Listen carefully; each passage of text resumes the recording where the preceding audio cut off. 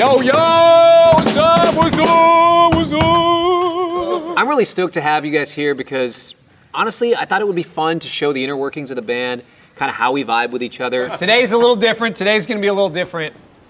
We got our regular cameras to shoot the show, but we also got some behind the scenes. There's gonna be some cameras around. Just ignore these cameras. Ignore the camera.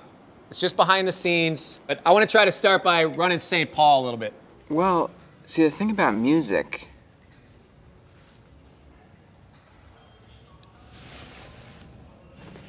Hi. You know, I always thought it was weird that people wouldn't stop waving to the camera, but now that I'm talking to you, I just can't stop. I have this sick, sick surprise for Cory and the band. I mean, I guess it's basically just sound.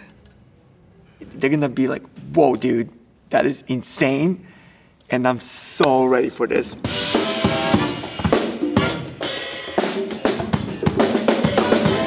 Hold up, hold up, hold up, hold up, hold up. Is that the six horn chart? Yeah, yeah, that's it. Something feels off. Oh, dude, I can put something on. Check this piece out. Bro, what do you guys think? Nice, dude. For the gig? Yeah, yeah, yeah. Oh, what? Oh, Come on. Come on, baby. right? Guitar. Hey, Good. What? look, the jacket's tight. It's a little much. Yeah, you're looking like Bubblicious, dude. We're green, blue, yellow. But, dude, it looks like drumsticks. No, they're not drumsticks, dude. They're like knitting sticks. Those aren't drumsticks. Damn. It's the jacket's a bit much. Lose it. No, dude. Fine, I mean, no, no. Petar do this, Petar do that. Who's the jacket? Petar's one of my best friends. We've played together for what, 10, 12 years or something now. The tough part about having friends in your band, I've also got to be the boss. It, it's a disaster. It's a freaking disaster.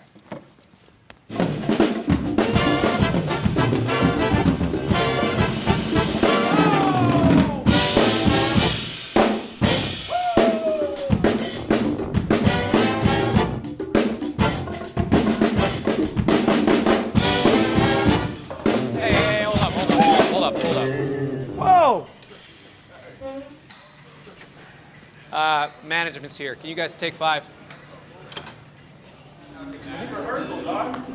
We noticed in the label system that songs in G are just not hitting anymore.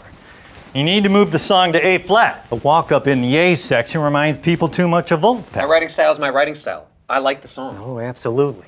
We like it too. It doesn't sound like you like it. What if you wrote a song with like a pop singer? I'm not just gonna do a song with some singer just because. Tell you what, I'm gonna set you up with a new artist. No, no, no, no, no, no. Look, I've got a friend. She's dope. She's a great guitar player. She's a singer. She's in the country world. We've written some stuff together, and maybe if I ask her, she could do it. Make it happen. now? Yes. Can you just give me some space? I got Lindsay Ell. She's coming. Lindsay! Oh my gosh, it is so good to see you. It's so good to see you. You are here to save the day. You, I'm I'm serious. here for you whatever are you saving need. me. Wow, Cory, this is awesome. It's pretty Look dope. at this set. Pretty dope, isn't I it? love it. The band knows the tune. Perfect. Let's just rehearse it once. Okay. Play it down a couple. Hold on. Play it down a couple Yep. times, Okay. and you'll be out of here in an hour. Easy. Hey, Got it. You all right? Doing good. Not now, man. Come on. All right. Corey needs a lot of support during the day. Um, sometimes he, he just doesn't act like he needs that support.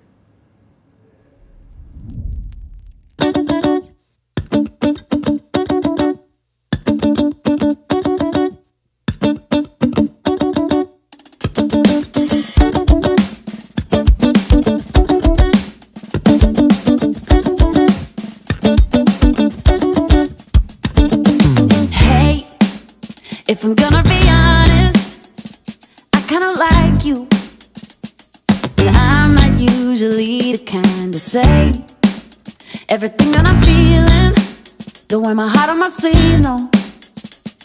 But I can't quite ignore it this time. From that first night, your eyes met mine. I haven't been quite the same since July. It wasn't what you said, I can't but can't get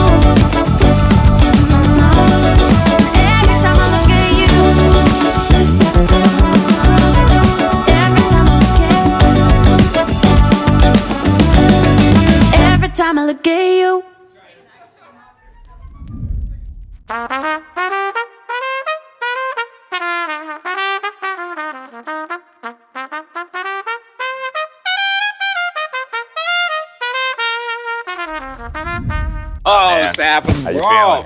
Chilling, bro. Yeah, Dude. Uh, hey, I wanted to run something past you. I, that whole thing with Petar, I think he's feeling a little alienated, so I want to try this bit where I do a little roast of the band. Dude, I love that. Dude, I I, know you're down. I know you're down. I just wanted to make sure you're comfortable if I bring up the eye thing. What? The like Disney eye thing. Disney eyes. Dude, your pupils are objectively large. What are you talking about? No, like the.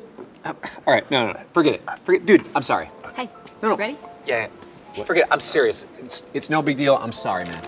It's, it's cool. No, no, no. It's cool. I'll I'll, I'll check with Kevin G or something. Yeah, I'm really. It's really great to, to be back here with the Wongnotes, and it's it's really great to to to see everybody again. With with you know like with my normal eyes. I, it's it's. I, It's Christmas gig at like a Macy's, right? Kevin's doing solo, his piano and guitar. Kevin's got his S90. Down the escalator. keys, 88 keys. And it falls forward. So He- it, it falls forward. He, he literally I dropped the jump keyboard. I on- see this from the balcony. Kevin falls down. Superman's after his S90. Oh man, that sounds like a terrible gig. It was talking about rough gigs. Oh, uh, hey, stagehand Peter. My worst gig was on a cruise ship. We were on the way back from Costa Maya to Galveston. Band lost a mic during their first song. Had to do it twice. Anyway, this oaf starts yelling for him to play Smooth by Carlos Santana Rob Thomas. They didn't know it. Told him no. Sometimes he would go away, and then sometimes he wouldn't go away. Tough. After the gig, me and the trombonist had a few whiskeys and fell off the starboard side. Went in the water. He was still holding his trombone. We didn't see a first shark for about half an hour. Nine footer, hammerhead. We huddled together. After we floated for a while, he pulled his trombone up out of the water and it had been bitten right in half. Right down the middle. Teeth marks in the bell. After a while, this young man pulls up on a sea-doo and throws us across the back. He was wearing Tommy Bahama and those water shoes with the separate toes. Couldn't look at the toes. Freaked me out. Never been on a boat since. Anyway, there's the batteries. Thanks. That's what eyes are supposed to look like, right?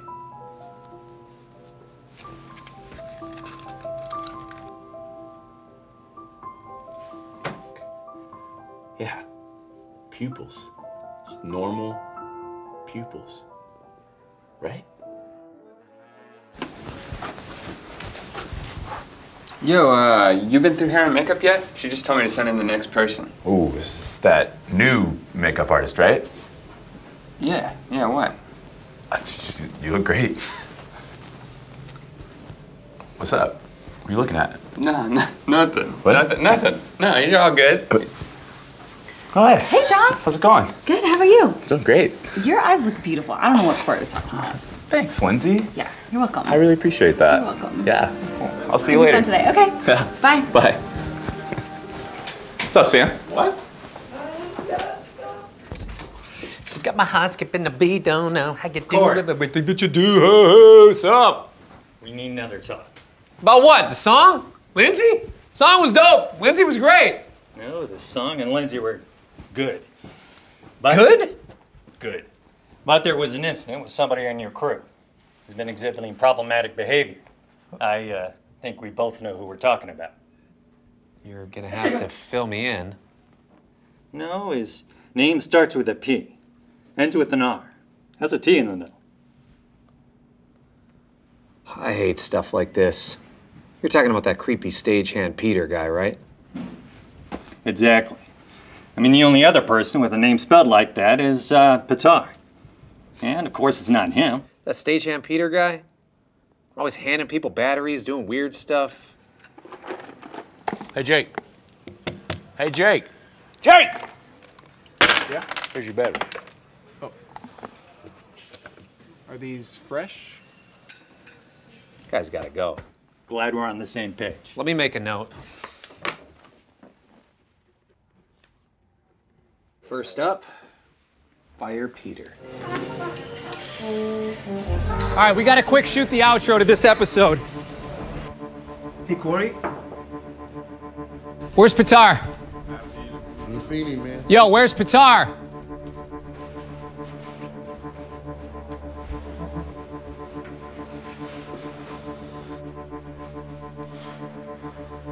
What do you mean left? I walked out.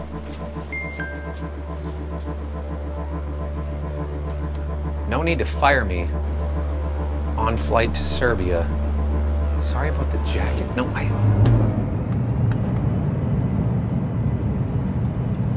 I meant Peter.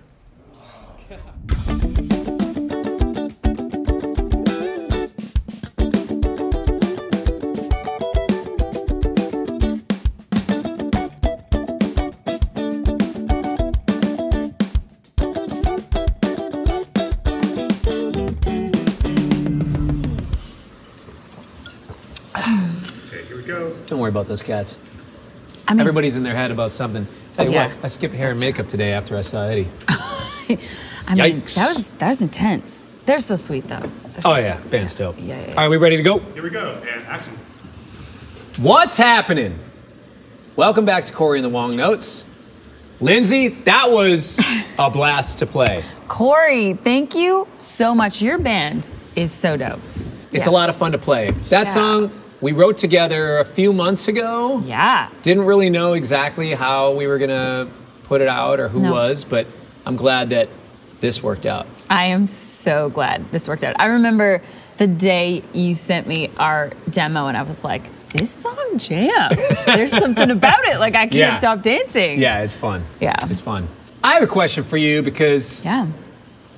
you are in the country music world, Mm-hmm. but when I listen to mu- your music and when I listen to you sing and play guitar and we just hang out and talk about music, you strike me as somebody who's more just kind of like pop music. And now Mhm. I don't mean that as country is not that because Yeah. country belongs in all of that, but it feels like something that's a little more specific. Mm-hmm.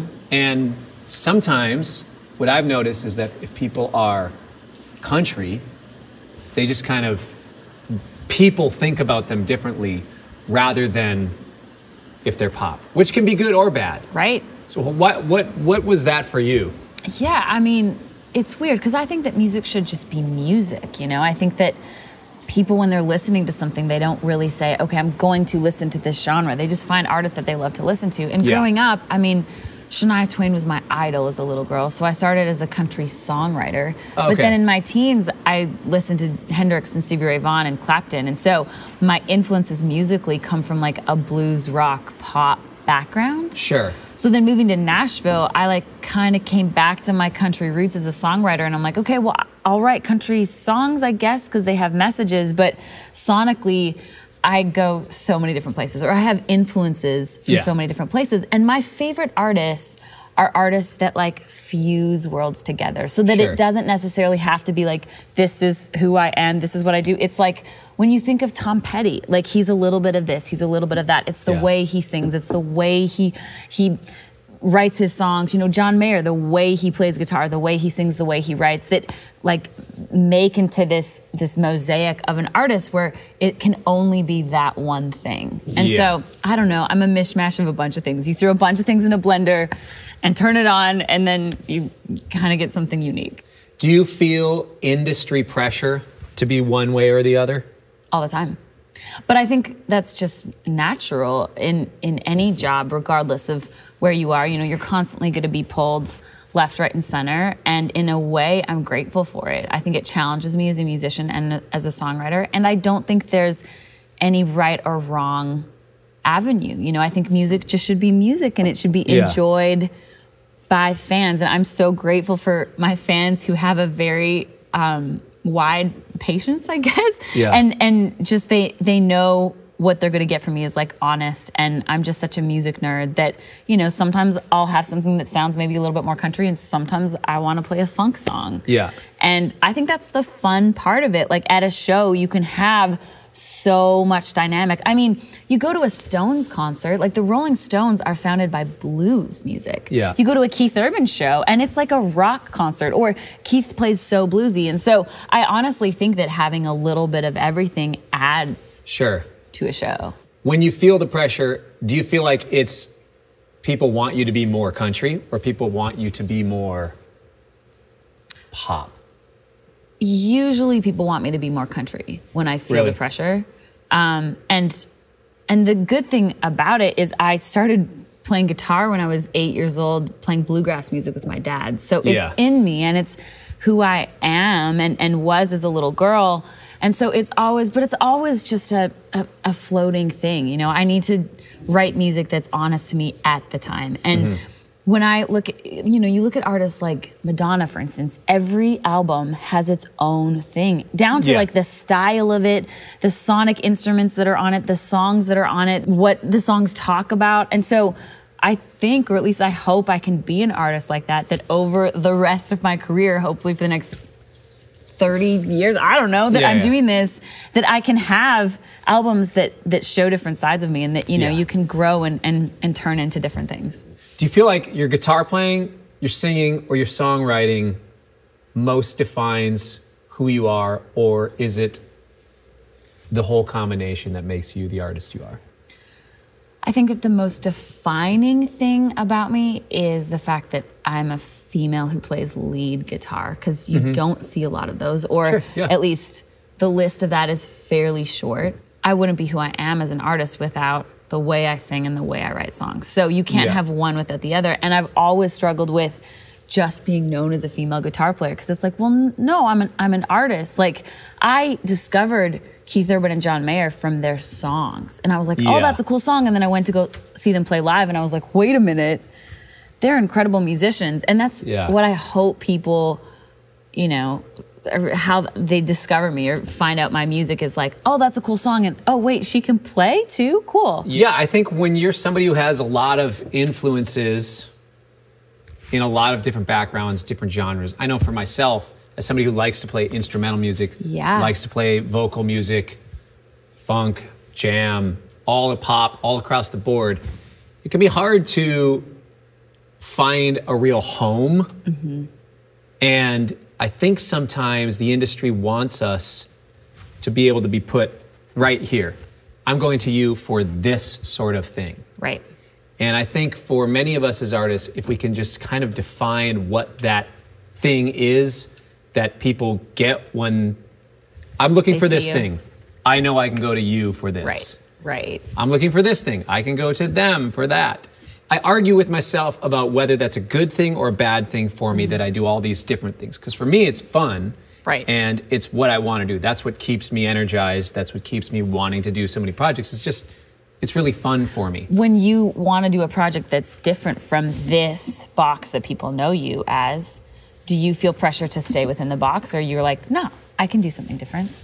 Um, because I'm an instrumental music person Mm-hmm. a lot of times, most of the time, I don't really care as much Mhm. as long as it really represents who I am as a guitar player and as a person and what I want to say. So Totally. I have an album that it's called Meditations that I put out with Jon Batiste. so good.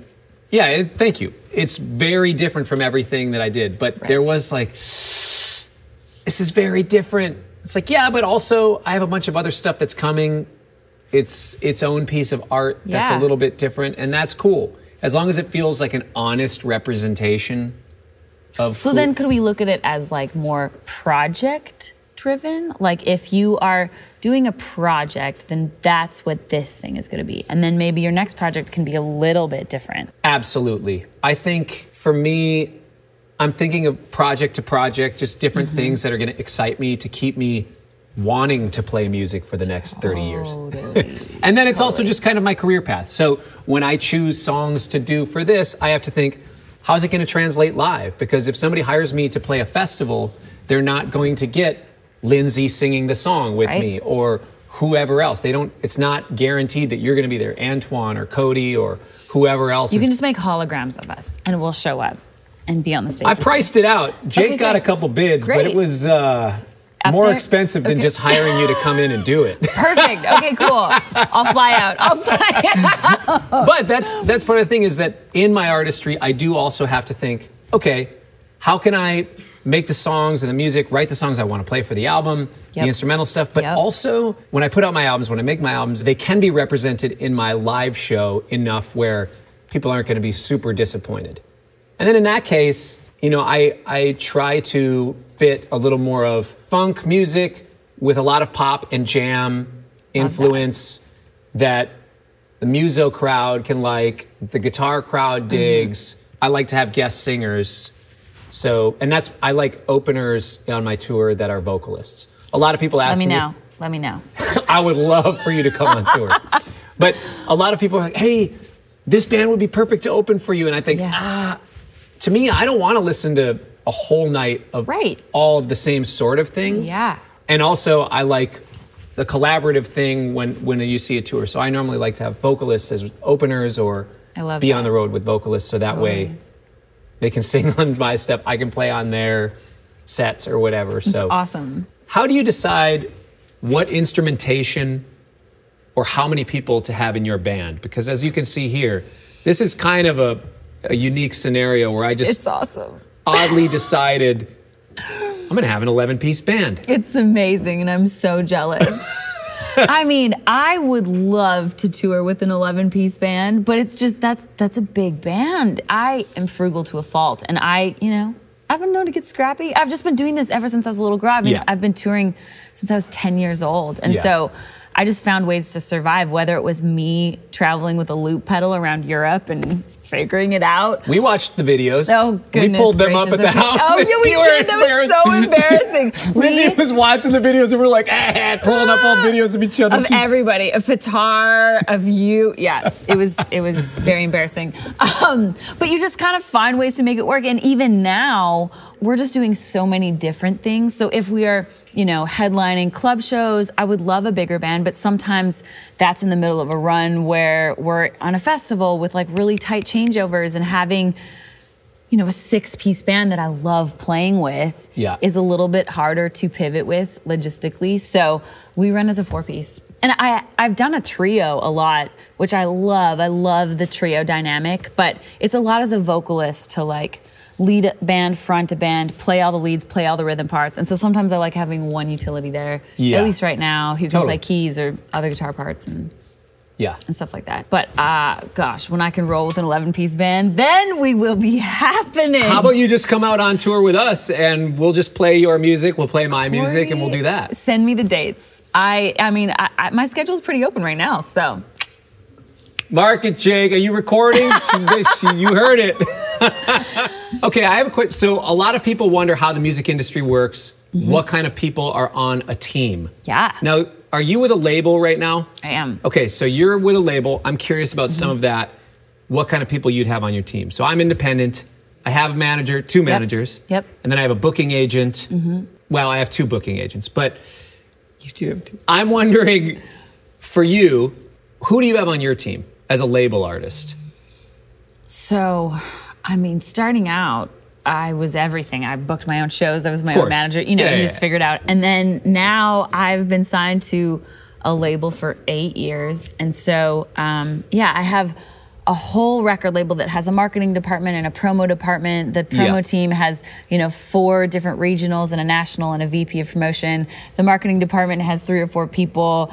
Um, there's like a publicity department. Then I hire my own publicist as well. Then I have an agent who has, you know, a branding agent and some other connecting opportunities like Yeah. within the agency. And then I have a manager and then I have a few other managers above my manager and then I have a business manager and then I have a lawyer and then there's a lot of people to pay Cory. When when I like if I made ten dollars right now for a show, If you grossed $10. if I grossed ten dollars and walked away with three, that's a really good day. Like a really good day. the beginning of that conversation, I was thinking, dang, I need a label. I mean, they're wonderful, and I love them so, so, so much. But it, it just, it's, it's all logistics of it. It, de- it depends, I guess, what your intentions are. Like Three is do. a good one? Yeah. If I make thirty percent of gross, then I'm rocking. It's all Yeah, yeah. math. I love math. Actually, math was my favorite. Subject. Math's nicer when um, your piece of the pie in the diagram is bigger, though. That's true. That's true. Big pieces of pie in the pie diagram are are much more delicious. Let's say you were looking for a new manager. Yeah. What kind of managers are out there?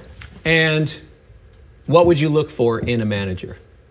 there's so many different kinds of managers and you know there's there's kind of the dichotomy with finding um, a very big management company that has lots of connections and very powerful versus the person who like believes in you and may not be as connected but is like ready to like dig in the ditches with you and then there's the ultimate situation which i truly feel i have is a little bit of both Yeah. or both of them just depending on um, on the company and so my manager is like blue and true man like he Yeah. is ready to eat the dust with me and i will say bar none that is the most important thing to find in a manager is find Yeah. somebody who believes in you as much as you believe in you and i don't think there's anybody who will work as hard as you as you will for yourself. Totally. But finding that person who will be like second runner up, who, you know, goes to sleep and wakes up thinking about how they can grow your business. I mean, a manager is a very important position. I will say out of everybody in my team,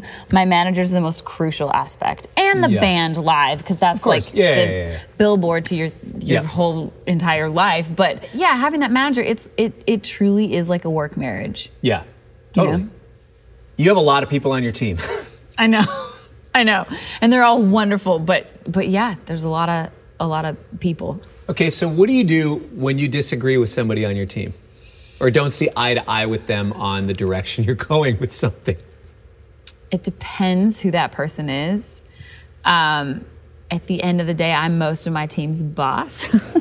That's right. So- they're making a percentage of your money. right? Right? Unless it's the label, because the label funds Yeah, yeah, a true. lot That's of true. things Yeah, that I do. true. So, you know, yeah, they wouldn't have music without the artist, but I also wouldn't have a lot of things without them. So, when it's a disagreement with the label, we kind of sit down and and just have a discussion about it and Yeah. figure out, you know, what are their intentions, what are my intentions, and it kind of is the ping pong match back and forth. But um, but I am so lucky. Like I have been with a record label who truly believes in me, and they're Yeah. just like, we know what you can do, and and it's just about finding the right way to communicate it. And so Yeah. I think a little bit of pushback is healthy. If anything, I get nervous when there isn't any pushback because I'm just like, oh, really? yeah, because I'm like, I know that I'm not right all the time, or I, I, I think that a little bit of pushback gives a better product at the end of the Yeah. day, you know, and a better show. And I don't want somebody to be like, that song's great, and that song's great, and that song's great. I want somebody to be like, eh, you can do better than that song. And then when I turn in a song and they're like, this song is amazing, I'm like, I know they mean it.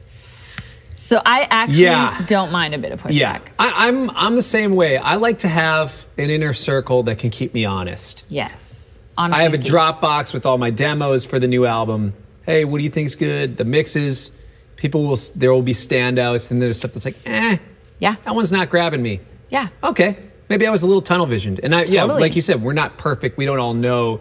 Yeah, and as a creative, like I think it's so important for us just to create, you know, Yeah. to write, to try not to edit it, to try not to think about marketing something or releasing something or the commercialability of something. And so then you want a team around you, and we can flip to the managerial side of our brain to be like, okay, now let's look at this Dropbox of songs and see. Yeah.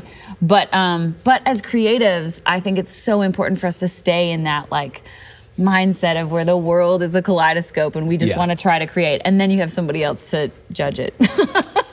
Yeah, and you have to trust that inner circle, whether it be your band, your team. you really do. I don't remember if I told you this. Actually, the last gig before COVID Mm-hmm.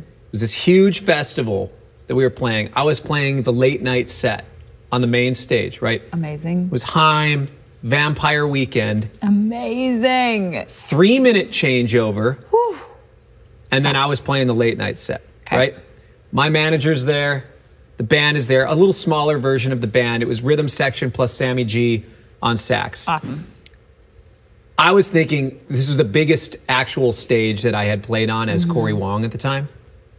Huge LED walls, IMAG, huge crowd. I mean, it's Haim and Vampire Weekend, and then like they have me come out afterwards yes, to just they do. keep the keep the crowd yes, amped. Cory Wong. Yes, they do. Okay, okay.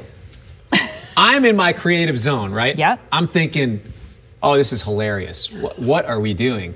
I'm down because we're gonna hype them up. We're just gonna keep the party rolling, right? Yep. So I'm thinking, what's the funniest thing we could do that would grab people's attention in a way that's like, what? This is interesting. It's like, Sammy, give me your soprano sax. I'm gonna go out there solo soprano sax. Of course you are. To start the gig, start the set. I'm gonna play "How Great Thou Art," and I only know the first four bars. Great. I mean, at least you can play sax. That's awesome. So I was gonna play "How Great Thou Art," the first four bars on soprano sax. And you're stoked about this idea. I'm thinking yeah. this is going to be the most hilarious thing. I'm talking to the lighting director Right. because it's just the house People are like, cats. I didn't bring my own crew. It's like, hey, if you can start the set with a spot, the band and my manager come up. They're like, dude, this is too big of a moment. Don't. yeah, yeah, yeah, yeah, yeah. they're yeah, here yeah. to stay hyped. See? Help keep them hyped. That's totally what I mean. Exactly. So, and I trusted them, and, and I just needed to snap out of it because Yeah. I was in this total tunnel vision Uh-huh. of this is going to be the funniest, hilarious thing. This will be something interesting for the internet, and I wasn't thinking clearly of, oh, what's just this experience really need? Right, and a lot of people who may not have seen you ever before, Oh, absolutely. their Tons of first people- yeah, yeah. impression is it going to be solo sax of how great thou art, or is it going to be like Cory Wong and his epicness with like a killer type band? Yeah, I know. And I will say though that sometimes those glimpses of creativity are incredible. Like sometimes that tunnel vision of artists bring us to places where it's like, Yeah, oh, I know. yeah, I mean, look at this set. Like, Yeah, yeah, they yeah. bring us to places where it's really incredible, but you do need a team that sort of filters through the, hey, bud, like, let's do the the, the soprano sax solo moment at another show. But this was this was my pushback to Sammy. Sammy's like, dude, you're not gonna be. You don't realize how hard it is to play soprano sax with the wedge blasting at you. It's gonna Yeah. feed back. I was like, yeah, but think about this, dude.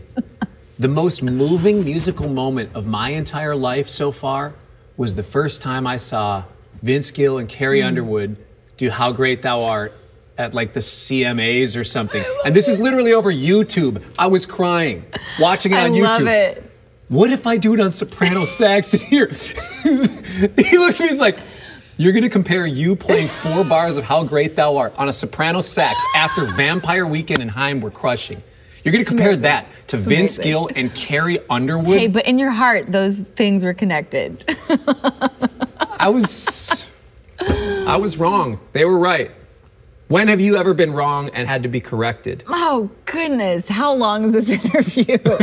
um, so many times. I I will to a fault push things stylistically sometimes too far out of country is where I Hmm. where I easily am to a fault because I mean, I would I would come play guitar in your band and, and be perfectly happy and be like, this is awesome. And sometimes You got that one too? Let's make sure we're still rolling. okay, perfect. um, and sometimes, you know, when I'm releasing songs to country radio, I need to re- remember, okay, Lindsay, you grew up as a little girl from Calgary who loves to write country songs. And so sometimes just like having that reminder in my brain of like, okay, in a live show, I can go off and have this like long 10 minute outro solo and make it a thing. But when I'm releasing music or specifically like releasing something to country radio, it it needs to be a certain thing. And so I'm I wouldn't necessarily say wrong, but sometimes I need to be directed a lot in the studio and just Yeah. reminded of like where I'm going. Sure. And yeah, from a live performance,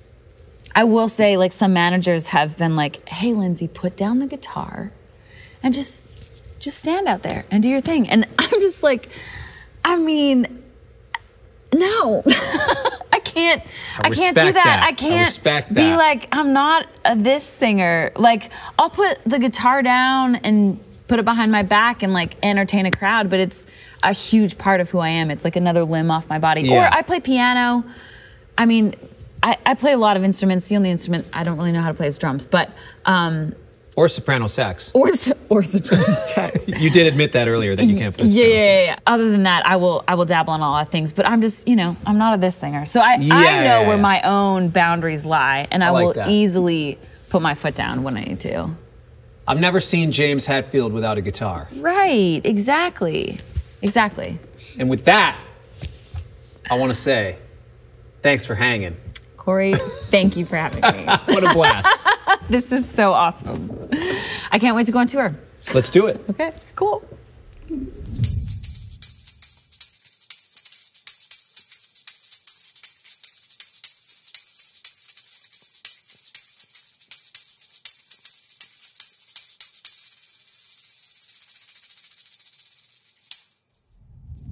Today's really made me feel a sense of gratitude for my band. They're my friends, they're my family. Gratitude for Lindsay being such a good friend coming here and kind of saving the day, I guess. And I've really just realized once again that there's no way that I could make this possible without my team. We good? Cool. Let's hit it. Can anybody here play drums? Lindsay, can you play drums at all? I mean, I've, I've never played drums, but I'll try. Jake, can you, can you put her ears on? Hey, thanks for hanging out with us. We'll see you next week. Two.